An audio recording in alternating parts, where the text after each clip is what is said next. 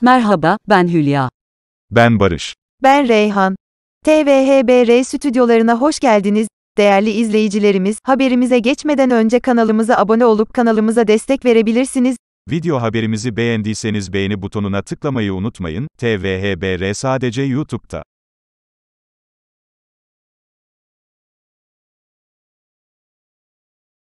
Azerbaycan'ın topraklarını işgal eden Ermenistan, Dağlık Karabağ'da büyük ezimete uğradı, ateşkes sonrası istifası istenen Ermenistan Başbakanı Nikol Paşinyan ise ziyarete gittiği kilisede neye uğradığını şaşırdı, kilisenin papazı Paşinyan'la tokalaşmazken o anlar an beyan kameralarca kaydedildi, Dağlık Karabağ Anlaşması'na imza attıktan sonra, hain, ilan edilen Ermenistan Başbakanı Nikol Paşinyan'a tepkiler sürüyor, Azerbaycan ve Ermenistan arasında imzalanan ateşkesin gerginliği Ermenistan'da devam ediyor, ateşkesin Ermenistan'ın aleyhine olduğuna savunanlar Başbakan Nikol Paşinyan'ın istifasını istese de Paşinyan her fırsatta istifa etmeyeceğini söylüyor. Anlaşmadan sonra ülke çapında eylemler devam ederken, uzun süre saklanan Paşinyan halkın karşısına çıkmaya başladı. Son olarak ölen Ermeni askerleri için Sisyan Aziz Grigor Kilisesi'ndeki taziyeye giden Paşinyan, tokalaşmak istediği papaz tarafından görmezden gelindi, o anlar ise kameralara yansıdı.